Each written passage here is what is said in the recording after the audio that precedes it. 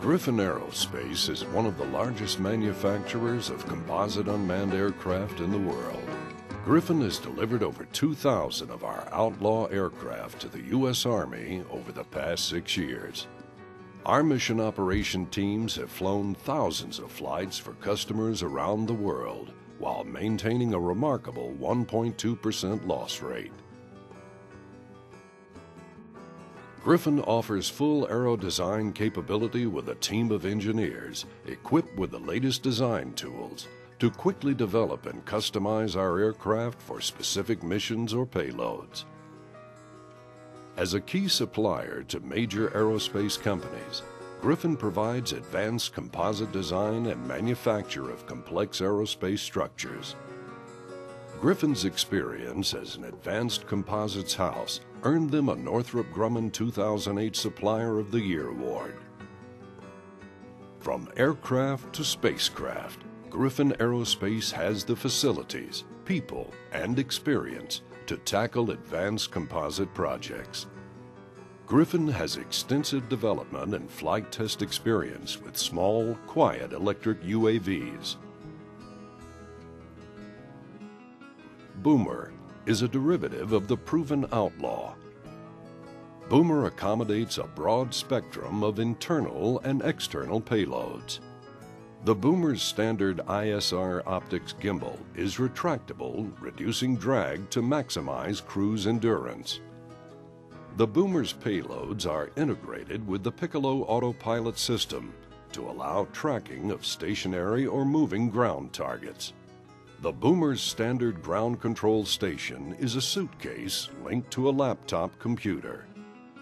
Typical payloads utilize military data and video downlinks, transponders, and other specialized payloads as necessary to fulfill our customers' mission objectives. The Outlaw Boomer can be launched from a Griffon pneumatic launcher, from a vehicle, or by standard runway operations. Griffon flies missions worldwide and is authorized to operate on most military ranges. We routinely fly for the U.S. Army, Air Force, and Navy in a variety of UAS test and evaluation programs.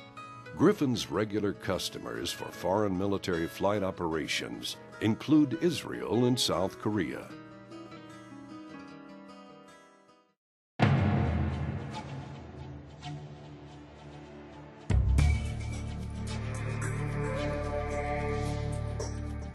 My name is Larry French, CEO, Chief Technical Officer of Griffon Aerospace, and behind me is Broadsword XL.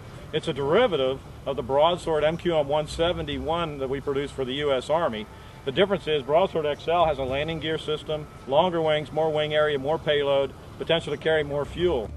The neat about this aircraft is the hard points underneath the wings that lets us carry drop payloads and pylons, more endurance, larger fuel bays, and we're excited about starting the flight test program today.